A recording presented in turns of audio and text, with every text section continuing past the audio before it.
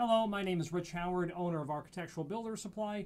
This video is to bring you a closer look at the Adams Rite number 25-0480 plastic dogging key.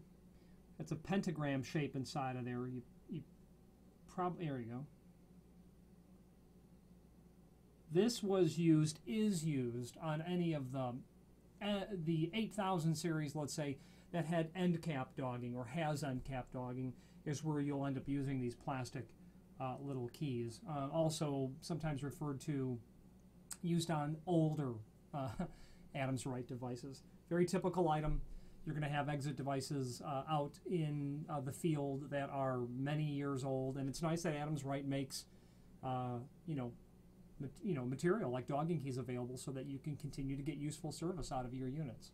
If you have any question on the Adams Rite 25-0480 plastic dogging key or any other Adams Rite product, please feel free to reach out to us. Thank you.